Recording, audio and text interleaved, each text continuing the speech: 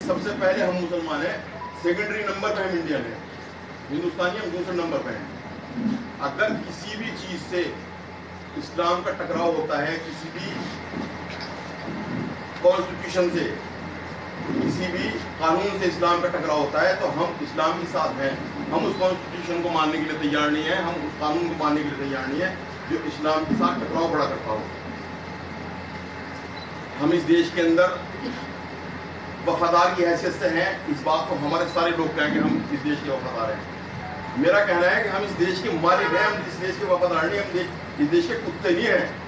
वफादार कुत्ता नौकर हुआ करें हम इस देश के मालिक हैं। जितना अधिकार इस देश के अंदर योगी का है इतना ही अधिकार इस देश के अंदर माविया जी का भी है। इसलिए हम कतई तौर पे योगी के उस आदेश को मानने के लिए तैयार नहीं जिसमें उसने ये बात कही तिरंगा फहराया जाएगा हर मदरसे पे और राष्ट्रीय गान गाया जाएगा, उसकी वीडियोग्राफी होगी। उसका हम खंडन करते हैं, हम उसका विरोध करते हैं उसको मानने के लिए बिल्कुल भी तैयार नहीं